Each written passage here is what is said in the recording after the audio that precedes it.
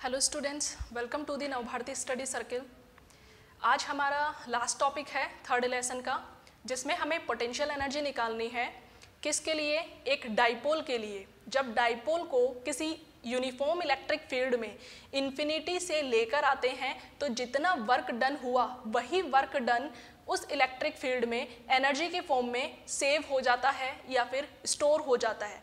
उसी एनर्जी को हम बोलते हैं potential energy of an electric dipole in electric field तो आज का हमारा यही टॉपिक है। पोटेंशियल एनर्जी का फॉर्मूला हम डिराइव करने वाले हैं। Potential energy of an electric dipole of an electric dipole in uniform electric field. Uniform electric field. तो आज का टॉपिक हमारा ये है।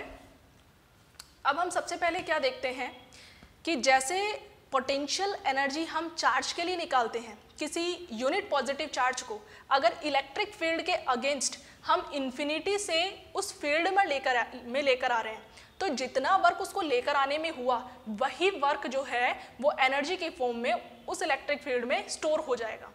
तो अभी हम किसकी बात कर रहे हैं? इलेक्ट्रिक डाइपोल की बात कर रहे हैं। हम अभी चार्ज की बात नहीं कर रहे हैं। एक इलेक्ट्रिक कंप्लीट डाइपोल की बात कर रहे हैं, जिसके अंदर प्लस क्यू चार्ज भी है और माइनस क्यू चार्ज भी है।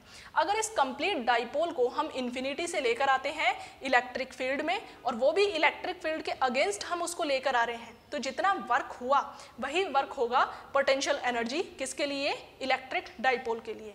तो डायग्राम देख लेते हैं। ये एक हमने यूनिफॉर्म इलेक्ट्रिक फ़ील्ड बनाया है,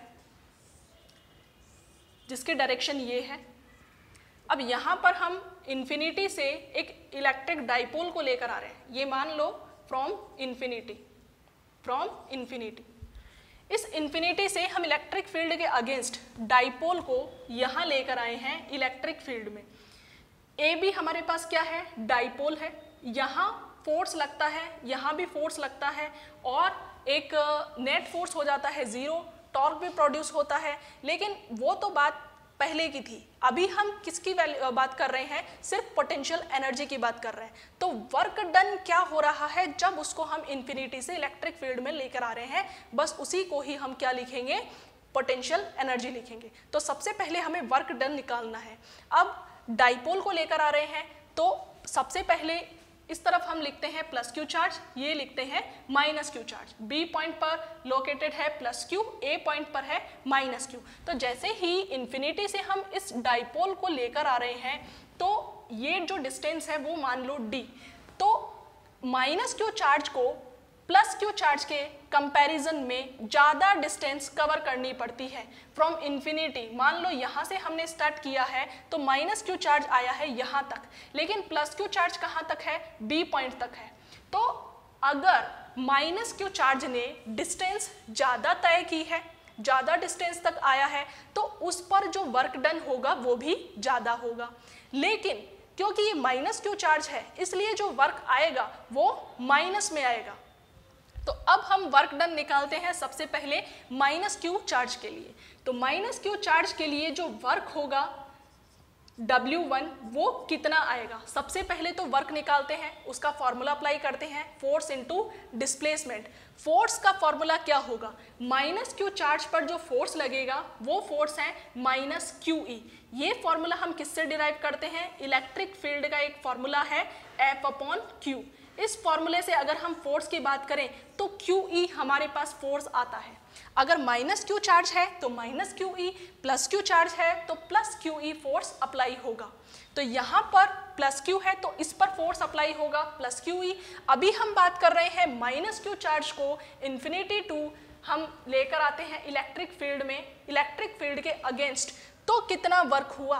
वही वर्क हमें निकालना है। फोर्स इनटू डिस्प्लेसमेंट फोर्स हमारे पास है minus Q E and displacement हमारे पास है डी देन क्यू डी को हम कितना लिखते हैं? यहाँ जो क्यू डी है, वो है डाइपोल मोमेंट तो work equals to minus P E ये हमारे पास इक्वेशन आती है फ़र्स्ट ये जो वर्क डन हुआ, वो माइनस क्यू चार्ज के लिए है?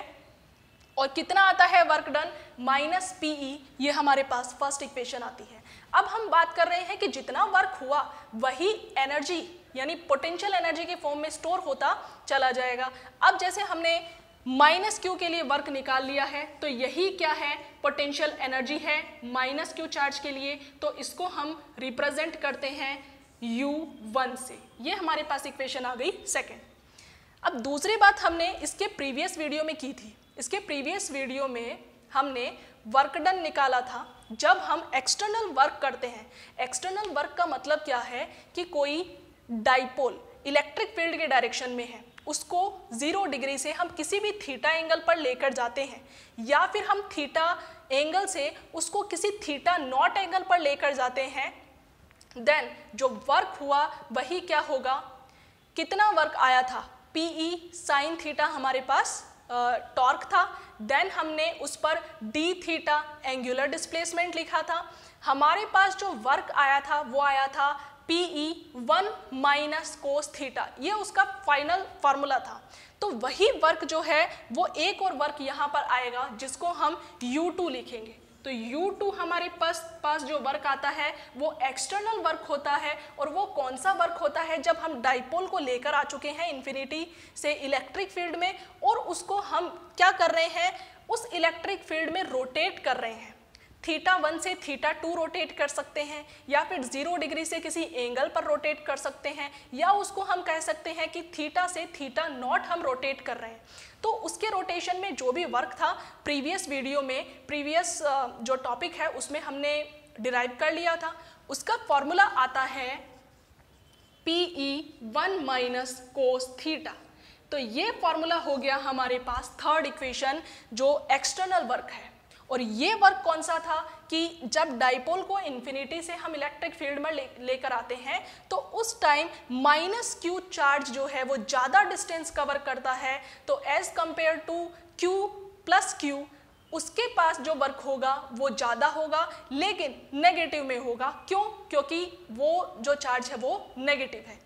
तो यहाँ पर वर्क डन जो आया, वो एनर्जी के फॉर्म में सेव हो गया और नेक्स्ट हमारे पास जो वर्क डन आया, वो भी एनर्जी के फॉर्म में सेव हो गया। अब इन दोनों एनर्जीज को प्लस करेंगे तो यहाँ पर टोटल वर्क आ जाएगा डाइपोल के लिए।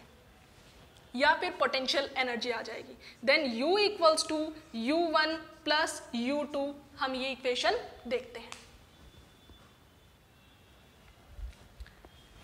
तो हमारे पास U का जो फॉर्मूला होगा वो कितना होगा? माइनस पीई यू वन है देन हम प्लस करेंगे ये equation P E one minus cos theta U equals to minus P E P E को वन से मल्टीप्लाई किया P E then minus P E cos theta plus P E minus P E cancel out हमारे पास जो equation बचती है वो है P E cos theta cos theta क्या होता है? डॉट प्रोडक्ट होता है देन हम माइनस पी डॉट ई, इसको इस तरह भी लिख सकते हैं। दो अपने पास वेक्टर क्वांटिटीज है उन वेक्टर क्वांटिटीज का अगर डॉट प्रोडक्ट है तो इसको बोलते हैं हम स्केलर प्रोडक्ट और ये जो क्वांटिटी आएगी, वो भी कैसी होगी? स्केलर होगी। लेकिन अगर हम बोलें कि दो वेक्टर क्वांटिटीज है, उनका वेक्टर प्रोडक्ट हो रहा है या फिर क्रॉस प्रोडक्ट हो रहा है देन जो क्वांटिटी आएगी इक्वल में, वो भी कैसी होगी? वेक्टर क्वांटिटी होगी। अब आगे देखते हैं, हमारे पास फॉर्मूला आ गया है।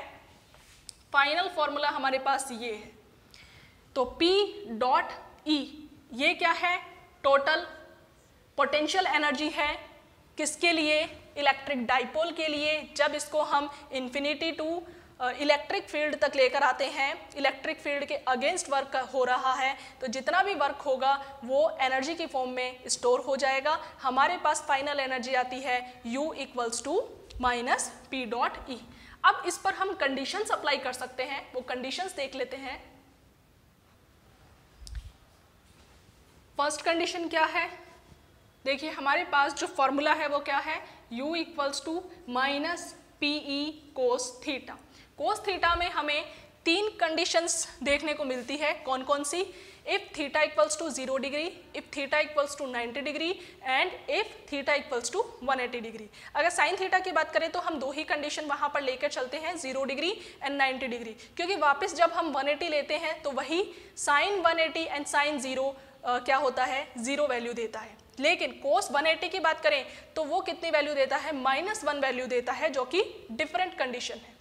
देन कोस थीटा अगर आती हमारे पास फॉर्मूले में आ रहा है तो हम theta equals to zero ninety and one eighty degree तीनों कंडीशन अप्लाई करते हैं। ज़ीरो डिग्री अप्लाई किया कोस ज़ीरो की वैल्यू हमारे पास आती है one then u equals to minus PE formula हमारे पास आता है फ़र्स्ट कंडीशन में।